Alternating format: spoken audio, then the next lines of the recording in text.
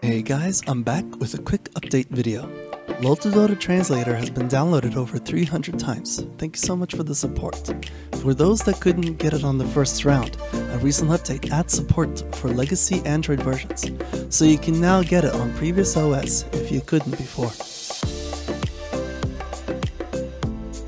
Another major update is that the app now downloads map infra from the cloud database. I can update heroes and items almost instantly, helping me keep up with patches or fix descriptions, and generally improve the suggestion matches. Or I can just mess with people, you never know.